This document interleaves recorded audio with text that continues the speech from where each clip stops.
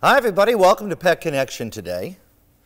This is Rowe, and I love the Berkshire Humane Society because over the years they brought me so many great different pets that are at shelters. We all know dogs and cats and bunnies, but you do get hamsters and guinea pigs, and you do get ferrets. Now, Rowe is four years old. Look at that beautiful face. He is uh, such a gentle boy. He loves being with people. Now, he doesn't know me. But he doesn't mind being on your lap and hanging out. There he is. I got you. I got you, fella.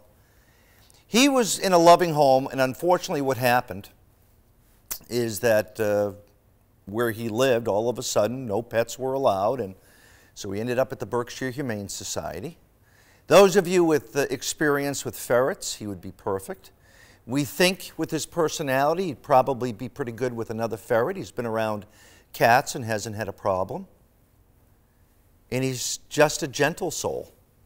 And he's been, he's been descented, which, as we all know, is important. Aren't they gorgeous? They're beautiful. Hey, honey, you like being on your back?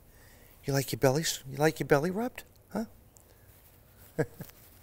Here's the information. Are you yawning? Are you yawning? Contact the uh, Berkshire Humane Society, 413 447 7878.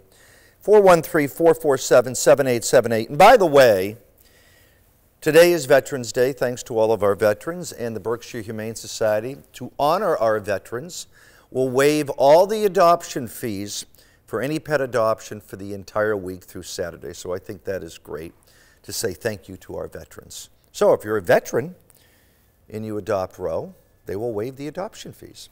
And that's Pet Connection for today.